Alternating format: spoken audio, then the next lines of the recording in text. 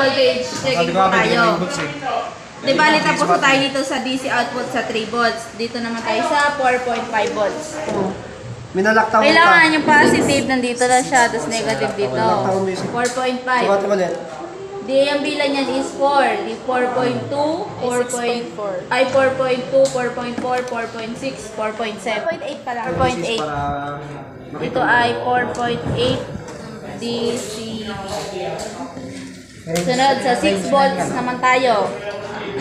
6 volts. 6 volts. 6. 6.2. 6.4.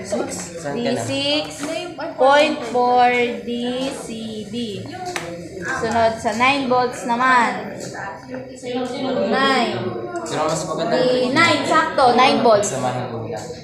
Kasi iwan mo ito. 9. 9 volts. Ay, hindi. 9 Napagsama mo na siya parang solid na siya. Last, 12 volts. Bitan mo para pag ginanyan mo, hindi siya gagawin. 50. 50, 50 gagamitin.